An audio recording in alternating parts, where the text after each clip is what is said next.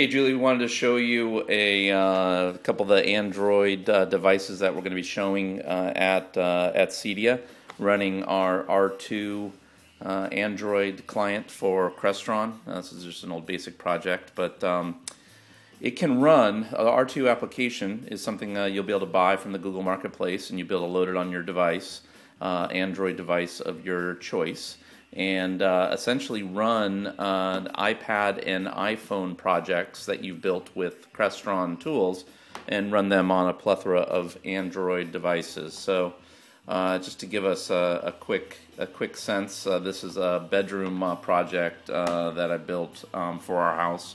This is actually an iPhone project scaled on this Samsung Tab uh, development platform. We'll be showing uh, this device or the real device at the show, which will be, I think, shipping sometime later this year.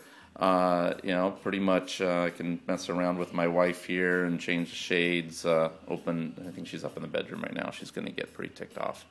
Uh, anyway, you get the picture. all fun stuff. So. Um, let's see, I'm going to move over uh, to a different uh, device. This is the uh, Dell Streak. It's the 5 inch version that's been shipping, I think, for a couple months. Pretty cool uh, device as well. Some great screens on these things.